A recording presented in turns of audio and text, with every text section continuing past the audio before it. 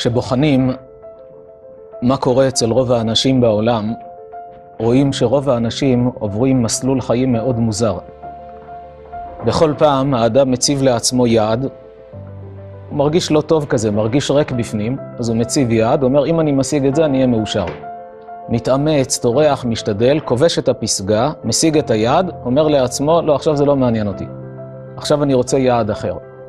ואז הוא שוב מתאמץ, מנסה להגיע, עד שמשיג, שוב משתעמם. וכך כל החיים. למשל, נער בן 16, רואים אותו בלי מצב רוח. למה אתה עצוב? רוצה רישיון נהיגה. הוא בטוח שאם יהיה לו רישיון, אין סיכוי שהוא יהיה עצוב כל החיים. למה ברגע שאדם כל כך משתוקק לאיזה דבר, אז הוא מרגיש שזה, זהו, אני עצוב רק בגלל זה. יהיה לי את זה, אני מאושר. פוגשים אותו אחרי שנה, יש לו רישיון נהיגה ביד. חוזר, מרוצה, מאושר, כמה זמן האושר הזה מחזיק מעמד? כמה ימים, שבוע, שבועיים, עד שהוא שם לב שאין לו רכב. ואז הוא אומר, תשמע, מה, מה אני אעשה עם רישיון? יהיה לי רכב, אני אהיה מאושר. לאחר זמן, קצת עזרו לו, קצת עבד, קנה איזה רכב דגם ישן, מרוצה, מאושר. שוב, אחרי כמה שבועות, חודש, מתרגל לרכב הזה, מרגיש ריקנות, זה משעמם אותו. מה עכשיו? הוא רוצה רכב מפואר. או שהוא רוצה להתחתן. כבר, הוא אומר, אני לא יכול להיות שמח בצורה כזו כשאני לבד, כשאני אתחתן, נהיה מאושר. אתה פוגש אותו בשבע ברכות, אחרי כמה שנים, ברוך השם נשוי, אתה פוגש אותו בשבע ברכות. איך עכשיו אתה מאושר? תראה, אני גר בשכירות, נראה לי שכשיהיה לי דירה משלי, אז אני אהיה מאושר. או אחד אחר אומר, תשמע, עכשיו התחתנתי, לא יודע אם יהיו לי ילדים, אני מאוד מוטרד. אם יהיו לי ילדים, אני אהיה מאושר. כשיהיה לי ילד. אתה פוגש אותו אחרי כמה זמן, נו, קנית דירה. זה שרצה דירה, קנית דירה, אתה מאושר? הוא אומר, תראה, זה לא בדיוק, אני קניתי דירה, אבל יש לי משכנתה 30 שנה. נראה לי שכשאני אגמור את המשכנתה עוד 30 שנה והדירה תהיה שלי, אני חושב שאז אני אהיה מאושר. זה עם הילדים, אתה פוגש אותו אחרי שנולד לו ילד, אתה עכשיו מאושר? איך אני אהיה מאושר? כל הלילה אני לא נרדם. כשהוא יגדל, אני חושב שאני אהיה מאושר. אתה פוגש אותו בגיל 70, יש לו דירה משלו בלי חובות, רכב, ילדים, משפחה, מסודר. אתה עכשיו מאושר? לא יכול לגור בקומה שלישית. אם יהיה לי קומת קרקע עם גינה, אולי גם בריכה, כמו שחלמתי פעם, נראה לי שאני אהיה מאושר. וכך כל הזמן האדם מציב יעד, כובש את הפסגה, משעמם אותו, רוצה משהו אחר. חז"ל סיכמו את המהלך חיים הזה במילים, אין אדם מת וחצי תאוותו בידו. כלומר, מגיע ליום המוות, אפילו חצי ממה שהוא רצה הוא לא משיג.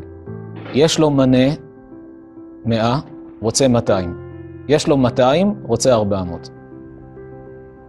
כשמעמיקים בדברי חז"ל, ממה האדם מרגיש בדרך כלל לא טוב? ממה האדם מרגיש רע? ממה שיש לו ממה שחסר לו? ממה שחסר לו. צריך לראות למי חסר יותר. יש לו 100, רוצה 200, חסר לו 100. יש לו 200, רוצה 400, כמה חסר לו? 200. למי חסר יותר? זה שיש יותר, חסר לו יותר מזה שיש לו פחות, מרגיש יותר גרוע. למה? כי התיאבון שלו גדל, הוא עכשיו לא רגוע.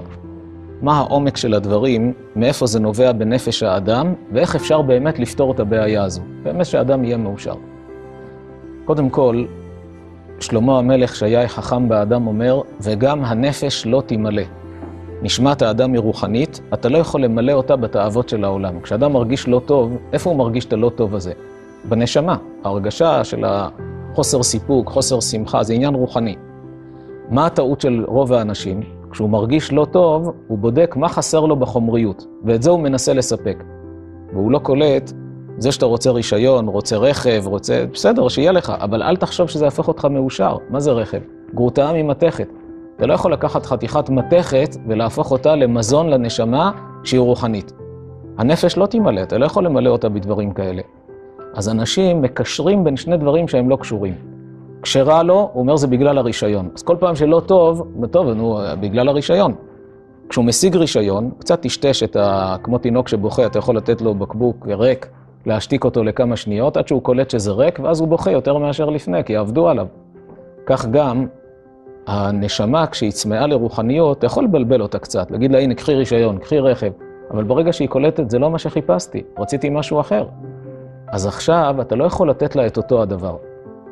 כלומר, כשיש לו מנה רוצה 200, והוא חושב, יהיה לי 200, אני אהיה מאושר, כשיהיה לי עוד 100. כשהוא משיג עוד 100, והוא רואה שזה כלום, אתה לא יכול להגיד לו, טוב, עוד מאה יעשה אותך מאושר. הוא אומר, זה כבר ניסיתי, עכשיו הוא רוצה 200. סף הריגוש הולך ו- ומשתנה. מה שאולי בכל זאת, ואולי, ואז כשהוא משיג את זה, גם זה לא. זה שאתה רוצה דירה, רכב, בסדר, תדאג, אתה חי בעולם, שיהיה לך מה לאכול, איך להתפרנס, איך לתפקד, איך לחיות, אבל אל תחשוב שזה יהפוך אותך למאושר. מה כן הופך את האדם למאושר? מה כן הופך להיות מזון אמיתי לנשמה? שהאדם הופך להיות אדם שמרגיש מילוי ושמחה וסיפוק, מזון רוחני. מי מרגיש לא טוב? הנשמה הרוחנית, תן לה מזון רוחני, אתה תגלה שהיא מאושרת.